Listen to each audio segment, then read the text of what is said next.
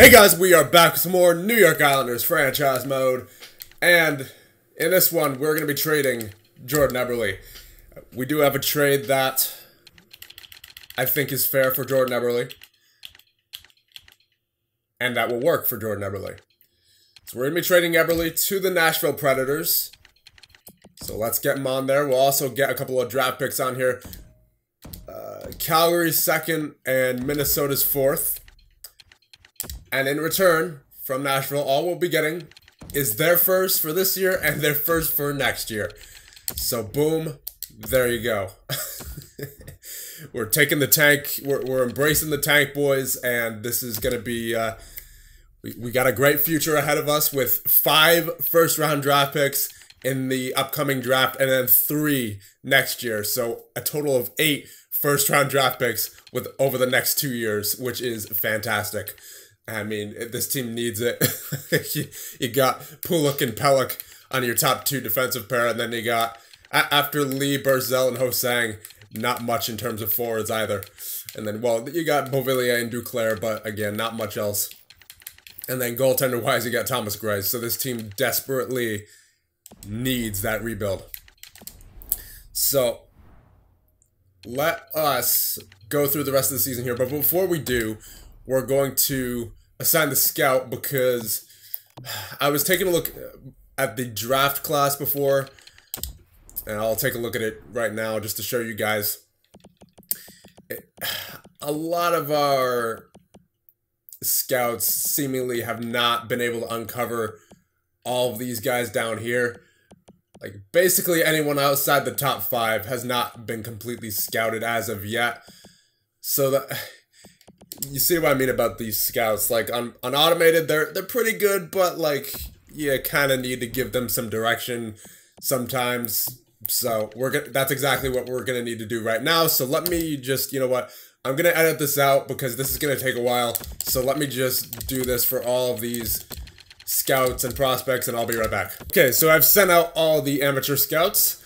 Let's finish the regular season with your New York Islanders as it's pretty clear what direction we're going in here. and uh, you know what, just to just to make sure that we can get as good of a pick as possible, let's throw Chris Christopher Gibson in there for a little bit. So there you go. let's get on with the rest of the season because again, I I don't think there's any chance of us making the playoffs at this point. We've already traded Jordan Eberle. We've traded countless other players: Bailey, Hickey,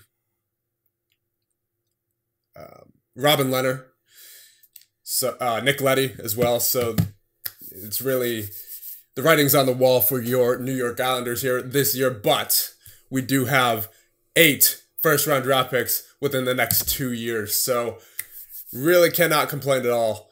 I mean, especially with how uh, with how good drafting is in this game.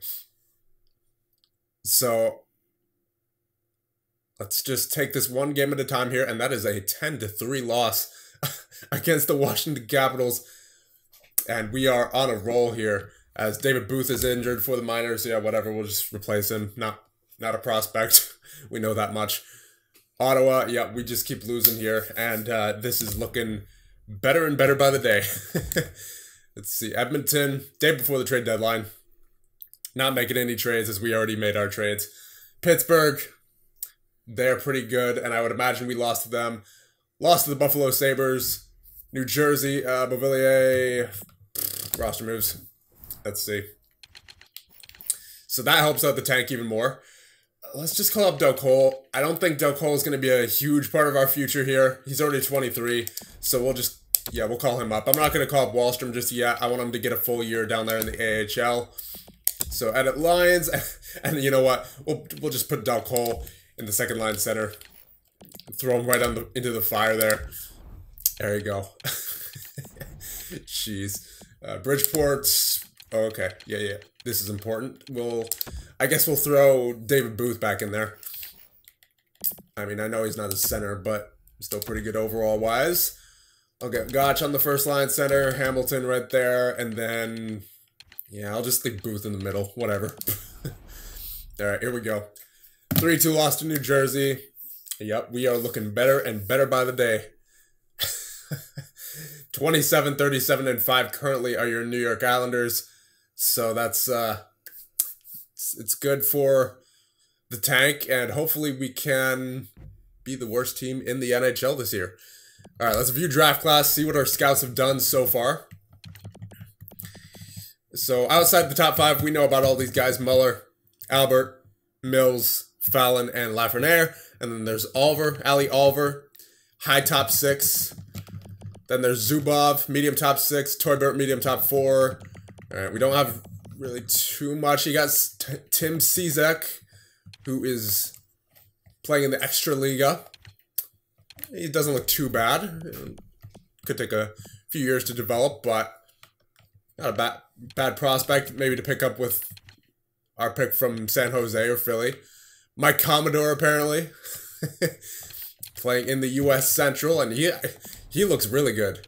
Actually, for a, a medium top six, he's got all those A's right there for the shooting, pretty much every category actually. So he might not be a bad one to pick up in the late first round there. So I'm actually gonna. Uh, nope. I I want I meant to press triangle there, but okay. Guess we'll. Uh, all right. You know what? We'll we'll use this opportunity to get Beauvillier back in there, and then we will uh, go back into the draft class and pin the players that I wanted to pin. So let's just uh, let's finish this sim here. Uh, seven to three win against Buffalo. So I mean, you're getting, you're getting some wins in there, but we are currently uh, the third worst team in the NHL, followed by Minnesota and Dallas. So let's view the draft class once more. As uh, we we have to pin some players here. Let's check gems and busts first. Uh, so no gems and all busts. wow, that is unfortunate. Now let's take a look at potentials. Oh my, so well, th this guy is not a guaranteed franchise player, but there's a two-bar franchise player supposedly going, I would say like fourth or fifth round there. So we'll pin him for right now.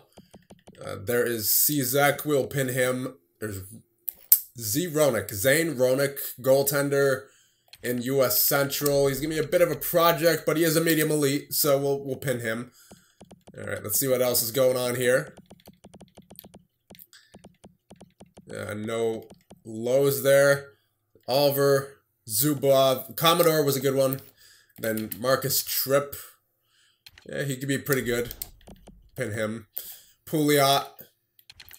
Comparison to James Van Riemsdyk.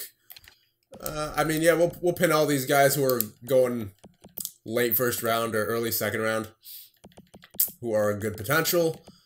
Okay, so Calico playing in A minus league in Switzerland. Uh, I mean, you know, he's not bad. We'll Robertson as well. Teubert.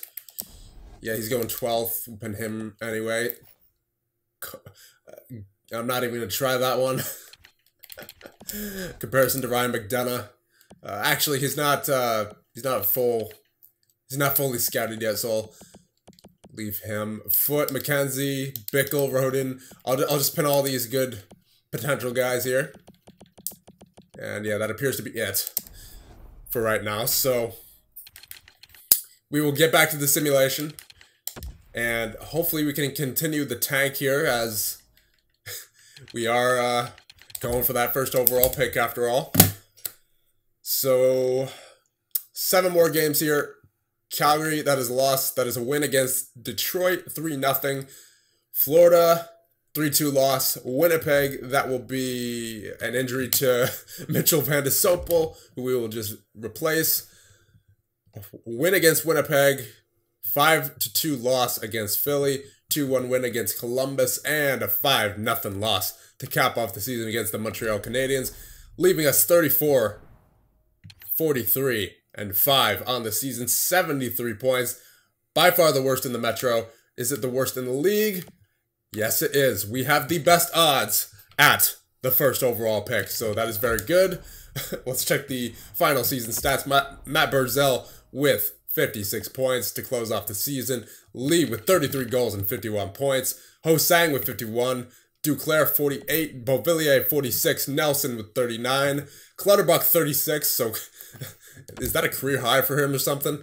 That must be yeah. That that is actually that is a career high for Cal, for Cal Clutterbuck. So my goodness, Casey Cizikas with 35, Pulock with 26, Martin 19. All these guys down here we don't care about. Plus minus, George's plus three, Duclair plus one, Dal Colle and Clutterbuck even, and everyone else is a minus. Shots on goal, Lee with 244, Duclair with 183. Shooting percentage, Lee with the 13.5. Power play goals, Lee with 8. Power play points, Barzal with 15. Duclair and Lee with 13 each. Shorthanded points, he got Georges with 3. Martin and Beauvillier with 2. Cizikas, Lee, Barzal, and Thorburn with 1. Face-offs, he got uh, Cizikas with 53.2. Barzal with a 52.8. Beauvillier with a 51 flat, and Nelson with a 50.4. Hits, you got Lee with 160, Martin with 138, Pulock and Pelech up there as well with 134 and 130 each. And then giveaways and takeaways. Take these with a grain of salt because, especially for defensemen, they're going to look rather bad just because of the how bad this team is at the moment. Ho-Sang, though, did very well for himself, 64 and 34.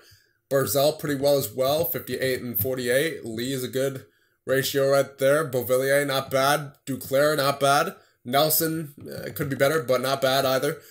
Clutterbuck, not bad. Martin could be a lot better. Actually, that's that's pretty bad for a forward. Cizikas, pretty bad. Pulock, again, that's going to happen for defensemen on our team. I mean, Ryan Pulock's the best defenseman we have right now in the 83 overall, so I, I can't really uh, take that too seriously. Again, take take takeaways and giveaways with a grain of salt here. Uh, Thorburn with 31 and 22. Pelech, again, I mean, we can't really do much about that at the moment, just given the state of this team. Aho, uh, all these guys, again, that we don't care about. Fights, Thorburn with 13, Martin with 4, and Mayfield with 2. Let's check out goaltenders now, see how Greiss did. 906, Gibson with a 912. So there you go. There, there is the NHL. Soderstrom in the in the AHL with 33 wins, 920 save percentage. Hutchinson, our boy, with 8 wins in 13 games, 918 save percentage. And let's check out our rookies.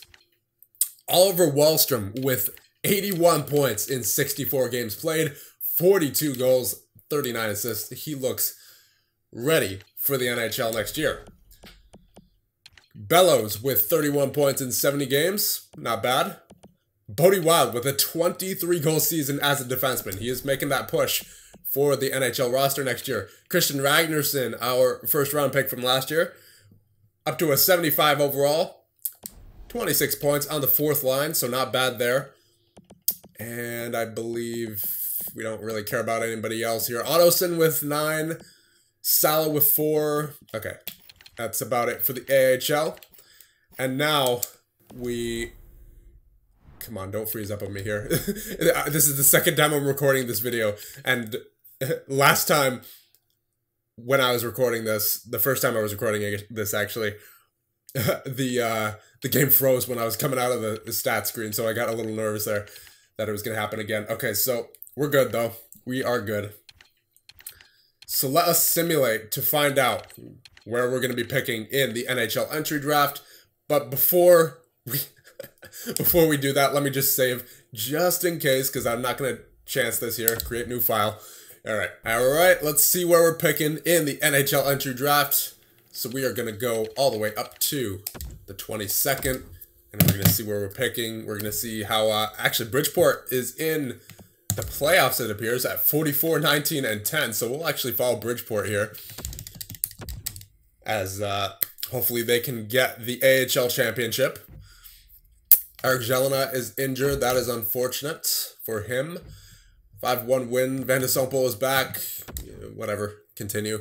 4-3 win, 4-3 win. All right. So Bridgeport finishes the season 47, 19, and 10. So we're definitely going to follow Bridgeport through the playoffs here in the AHL. And they are facing Springfield in the first round. So get it done, Bridgefield. Uh, no, Bridgefield. Bridgeport. All right, so there's two solid wins there. Game four coming up. We can close out the series here, and it is going to a game number five. We'll go best lines here for Bridgeport. Get the best players out for the playoffs. And that is going to be a 3-2 loss, and we are out in the first round. Devin Setoguchi is injured. Yeah, whatever. Not that it matters at this point. So let's go back to the NHL and uh, just get up to the draft here. We'll also check out the awards and stuff. I, I gotta keep reminding myself to check the awards because checking the awards for those of you who are are new here um, is not something that I have a habit of doing. So gotta remind myself to check the awards this year as we I, I almost forgot to do it last year. It was just, you know, we, we did it like towards the beginning of the season. All right, let's actually view the draft class just to see what progress our scouts have made. Okay, so you got Drouin Deslauriers at a medium elite. You got Zubov at a medium top six. So our scouts have definitely made some progress here. Durand, yeah, Yves Durand with a medium top six. How does he look? Eh, he's not bad more of a he, he looks like a Christian Ragnarsson type player with that A for shooting. And then who else do we have here? Let's uh, let's check potential actually. So you got Muller, obviously, Mills, Albert, Fallon, Lafreniere, and then Drew Deslauriers. All the obvious guys there. Then Cizek and Roenick. They are still medium elite, so that's good to know. Uh, anybody else doesn't look like it. Let's go down here. Gryba is a low elite. And that's what I figured when we saw that franchise, but it was only a two bar scouted. Now it's fully scouted, and he is a low elite. So it's still a good pick for sure. Uh, Oliver, Zubov, Durand, yeah, all these guys. Well, you know, we'll just pin these guys anyway, just in case. I mean, we have five first round picks this year, so you never know. Uh, yeah, that's good for that just double checking here just to make sure we're not missing anybody. And I'm pretty sure we're not. So yeah, let's let's sort by gem and bust here just to see if there's any gems and no, it's all still busts. So that's that's good to know. Let's just get up to the draft now and see where we're picking. And the playoffs are complete, and your Stanley Cup champions are the Tampa Bay Lightning, and the Calder Cup goes to the Binghamton Devils. There's the salary cap information for this year. I believe I saw the maximum was 89 million and then minimum was like 68. Oh boy, there we go. Here we go, boys. We got the first overall pick for the New York Islanders. And we also have the ninth overall pick from Nashville and the 14th from Toronto. There we go. That's what I'm talking about. All right, so let's view the draft class one more time. So, boys, this is huge. We have our choice of Andres Mueller, who's the consensus number one, apparently. 21 goals, 19 assists in the DEL. This is going to be a huge draft year for your New York Islanders. So we, we really got to make this pick count. Let me know in the comments. So a similar style to Patrick Kane. So again, boys, take all this in and uh, let's see who we should draft. You got Damian Mills, who is a power forward, said to go second overall. Our scouts have him ranked at third. 47 goals, 62 assists in the US West against C minus competition. A plus, A plus, A, A plus, A plus, A. He's good at puck protection, goal scoring, and one-on-one skill. His weaknesses are teammate utilization and reach. And actually, we'll, we'll take a look at that at Mueller as well. Mueller is a sniper against A minus competition. His strengths are magic hands, skating, and offensive creativity. Weaknesses are character, lacks size, and reach. Then you got Stu Albert, a center, ranked to go third overall. Our scouts have him at second. He plays in the DEL with B competition. 51 games played, 19 goals, 13 assists as a playmaker. A plus shooting, A plus puck skills, A, A plus, A minus, A. Strengths are 200 foot game, offensive creativity, creativity and a playmaking ability. Weaknesses are shot utilization, teammate utilization, and reach, and is comparable to Nick Backstrom. Xavier Fallon, said to go fourth overall, playmaker from Switzerland with the SCL Tigers. Four goals and 11 assists in 49 games played against A minus competition. A plus, A plus, A, A plus, A minus, A minus. Strengths are a 200 foot game, offensive creativity, and playmaking ability, and his only weakness is reach. And he is comparable to Nicholas Backstrom. And then fifth is Alexis Lafreniere against C minus competition in the QMJHL is a playmaker, 65 games played, 35 goals, 57 assists. His strengths are skating, elite speed, and pro release, and his weakness is reach. He's got an A plus for shooting, B, B, A plus, A minus, and B, and then comparable to Teemu Selanne. And then you got, well, I mean, we won't take a look at anyone outside the top five because uh, we pretty much, we already know. But uh, we'll just take a look at Drouin Deslauriers anyway because he's got the elite potential.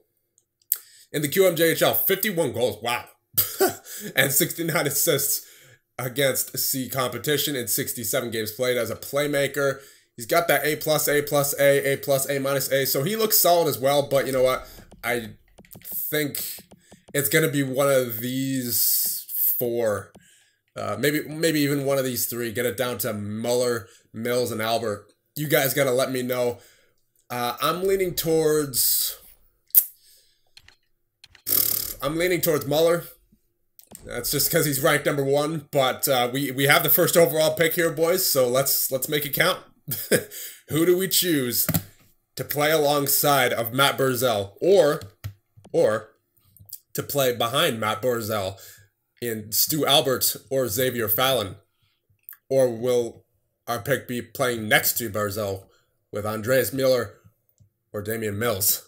Let me know in the comments. That'll be about it for this one. All right, so let's see the player retirements here. Cullen, Hemsky, Gionta, Erat, McCalloch, Callahan, Horton, Chimera, Brodziak, Ruutu, MacArthur, Upshall, Fair. Let's check goaltenders now. Niemi Budaj, Leighton, McKenna. Okay. There you go for retirements. And the following players are now scouts. Ales Hemsky for the Washington Capitals and Scottie Upshall for the Philadelphia Flyers. All right, so now, now we will end it off. So let me know who we should draft first overall in the NHL entry draft. See you guys in the next one.